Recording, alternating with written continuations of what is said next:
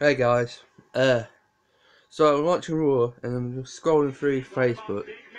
I didn't know it was going to be true or not, but they're actually going to do this.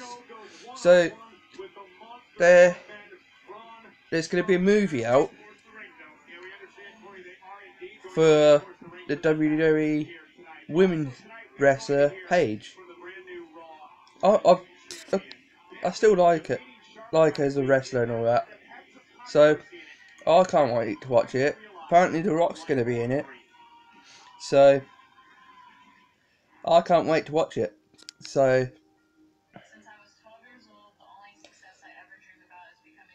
uh, I've seen on Facebook that there's um, some videos come up from this uh, little page thing, and there's um, some actors after Raw last night that uh during a match one was one was a that one was acting to be Paige and one was acting to be AJ Lee. Both two of my favourite all time women wrestlers of all time. So I'll be excited for that. Peace out. Love you all. Please like, share, and subscribe and comment on this, please. Because I don't have.